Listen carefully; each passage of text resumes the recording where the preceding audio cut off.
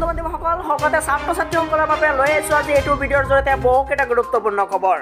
অসমৰ এজন ষ্টুডেণ্ট হিচাপে ভিডিঅ'টো প্ৰথমৰ পৰা এওঁলৈ গোটেই মনোযোগেৰে চাই যোৱাটো নিজৰ কৰ্তব্য। ছাত্ৰ ছাত্ৰীসকল আজি প্ৰথমে আলোচনা কৰিম সাতাইছ জানুৱাৰীত অসম বন্ধ ঘোষণা কৰিছে।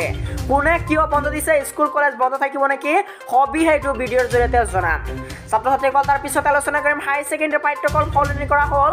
কোনকেইটা ছাবজেক্ট সলনি কৰা হৈছে সবিহে জানিব পাৰিব এইটো ভিডিঅ'ৰ জৰিয়তে।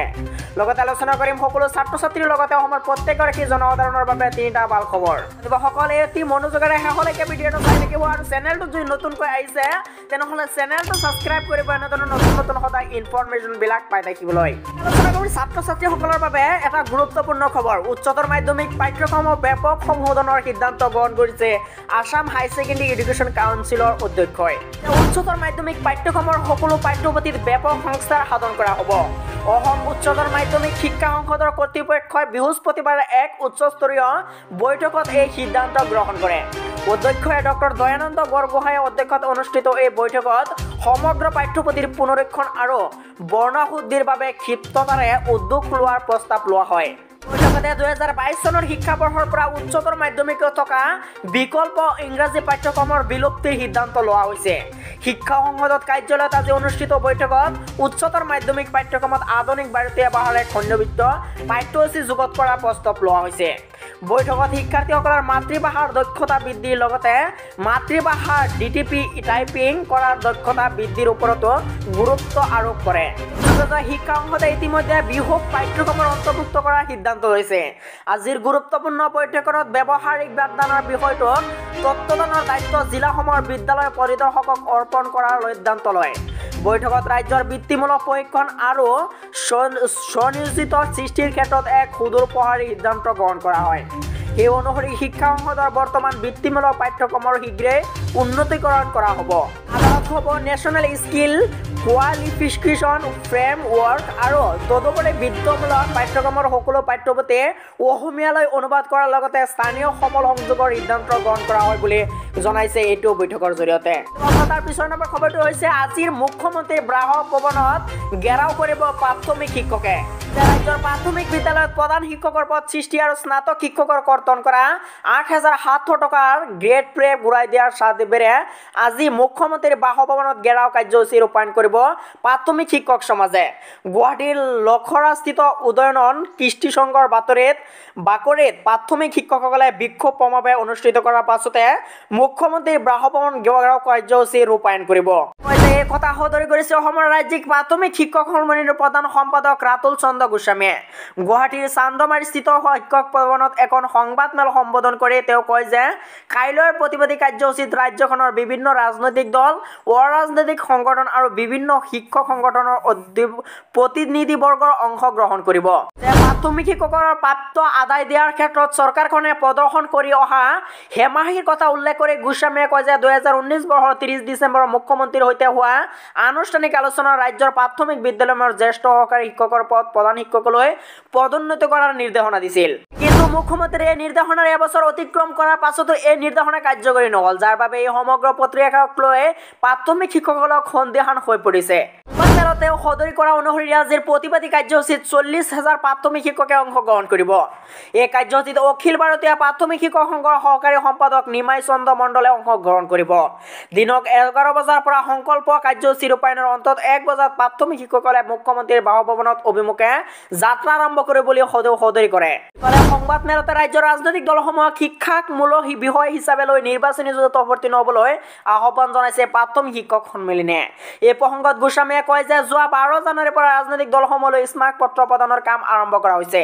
এই পত্ৰযোগে প্ৰাথমিক শিক্ষা আৰু শিক্ষকৰ সমস্যা ইস্তাহাৰত সন্নিৱিষ্ট কৰিবলৈ আমি অনুৰোধ জনাইছোঁ। ৰাজ্যখনৰ প্ৰাথমিক শিক্ষা ক্ষেত্ৰখনত ব্যক্তিগত ৰাজহুৱা অংশীদাৰিত্বৰ পৰা ৰক্ষা কৰাৰ সংকল্প গ্ৰহণ কৰি তুলিও কৰি কোনো ক্ষেত্ৰতে যাতে ৰাজহুৱা প্ৰাথমিক শিক্ষা ব্যৱস্থা ৰাজহুৱা ব্যক্তিগত ব্যৱস্থাৰে চলিব নোৱাৰে তাৰ পদক্ষেপ ল'বলৈ আহ্বান জনাইছে। উল্লেখযোগ্য যে প্ৰাথমিক শিক্ষকসকলৰ সমস্যা সমাধানৰ দাবীৰে ইয়াৰ পূৰ্বেও কেইবাবাৰো প্ৰতিবাদী কাৰ্যসূচী ৰূপায়ণ কৰিছে প্ৰাথমিক শিক্ষক সন্মিলনীয়ে। খবৰটো হৈছে খুবেই গুৰুত্বপূৰ্ণ খবৰ। সাতাইছ জানুৱাৰীত অসমৰ এইকেইখন জিলা বন্ধ থাকিব। এইকেইখন জিলা বন্ধ থাকিব আৰু বাকী যিসমূহ আছে সকলো খোলা থাকিব। ইয়াৰ ভিতৰতে স্কুল কলেজ বন্ধ থাকিব নে খোলা থাকিব সেই বিষয়ে জনাম তোমালোকক।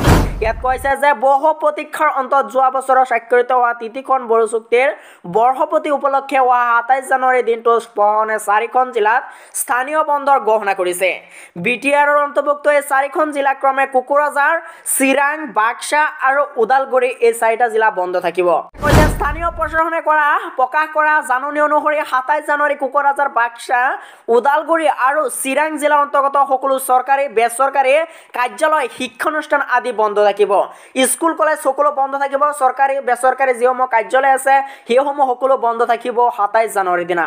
যোগেতে যোৱা বছৰৰ সাতাইছ জানুৱাৰী দিনটোতে N D F B Assam চৰকাৰ আৰু ভাৰত চৰকাৰৰ প্ৰতিনিধি এপছুৰ লগতে আন এটা বড়ো জাতীয় সংগঠনৰ মাজত তৃতীয় বড়ো চুক্তিৰ সম্পাদনা কৰা হৈছিল। দুহেজাৰ বিছ চনৰ সাতাইছ জানুৱাৰী তৃতীয়খন বড়ো চুক্তি স্বাক্ষৰিত হোৱাৰ পূৰ্বে ঊনৈছশ তিৰানব্বৈ চনত নিখিল বড়ো ছাত্ৰ সন্থা এপছুৰ সৈতে প্ৰথমখন আৰু দুহেজাৰ তিনি চনত বিদ্ৰোহী গোট Bodo Liberation Tigers B L টিৰ সৈতে দ্বিতীয়খন বড়ো চুক্তি স্বাক্ষৰিত হৈছিল। তাৰ পিছৰ নম্বৰ খবৰটো হৈছে ডেকেৰা ডাঙৰ খবৰ শতকৰ দিশে বাঢ়ি আছে পেট্ৰল আৰু ডিজেলৰ মূল্য। জানক অসমত কেতিয়া লিটাৰত পাঁচ টকা পৰ্যন্ত কমিব পাৰে পেট্ৰল আৰু ডিজেলৰ মূল্য। যে নতুন দিল্লী চৰকাৰী তৈল কোম্পানীয়ে পেট্ৰল ডিজেলৰ মূল্য আজি আকৌ বাঢ়াইছে। ইয়াত কৈছে পেট্ৰল ডিজেলৰ মূল্য একেৰাহে বাঢ়ি যোৱাৰ কাৰণে উপভোক্তাৰ সমস্যা আৰু অধিক হৈ পৰিছে। বিশেষকৈ ডিজেলৰ দাম একেৰাহে বঢ়াৰ কাৰণে ইয়াৰ পোনপটীয়া প্ৰভাৱ সাধাৰণ মানুহৰ পাকঘৰত পৰিবলৈ গৈছে আছে। উল্লেখযোগ্য যে ডিজেলৰ মূল্য কেইবাখনো ৰাজ্যত আশংকালংঘিত স্তৰ পোৱাৰ কাৰণে পাঁচ মাহত দ্বিতীয়বাৰলৈ পৰিবহণকাৰীসকলে ভাড়া বৃদ্ধি কৰা দেখা গৈছে। ইয়াৰ বোজা পোনপটীয়াকৈ উপভোক্তাৰ ওপৰত পৰাটো নিশ্চিত। আজি ৰাজধানী দিল্লীত পেট্ৰলৰ দাম পঁচিছ পইচা প্ৰতি লিটাৰত বৃদ্ধি কৰা হৈছে। ইয়াত চেক কৰক আপোনাৰ চৰত কিমান মহংগা হৈছে পেট্ৰল আৰু ডিজেলৰ মূল্য। ইয়াত কৈছে দিল্লীত পেট্ৰলৰ প্ৰতি লিটাৰ দাম হৈছে পঁচত্তৰ পঁচাশী দশমিক পঞ্চল্লিছ পইচা। আৰু তাৰপিছত কৈছে ডিজেলৰ মূল্য হৈছে পঁচত্তৰ দশমিক তেষট্টি টকা প্ৰতি লিটাৰত কৰা হৈছে।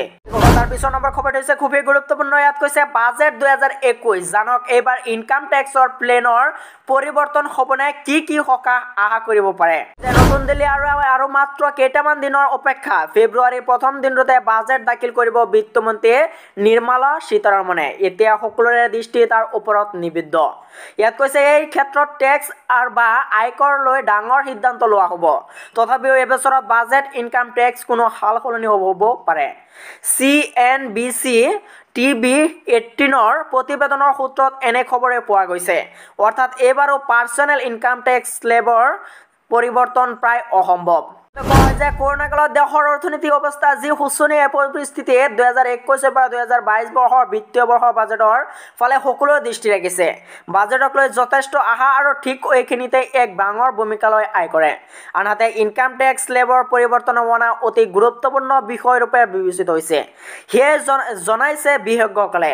এই সংবাদমেলৰ সূত্ৰত জনোৱা হৈছে যে ইনকাম টেক্সৰ স্লেবৰ ওচৰত ওচৰা ওচৰিকৈ অন্যান্যভাৱে আয়কৰ ৰেখাৰ ব্যয়টো বিবেচনা কৰিছে বিত্তমন্ত্ৰীয়ে। গতিকে ৰেভিনিউ কালেকশ্যনৰ তথা ডাইৰেক্ট টেক্সৰ ক্ষেত্ৰত কি হ'ব পাৰে সেইটো ব্যয়টো এতিয়াও অনিশ্চিত।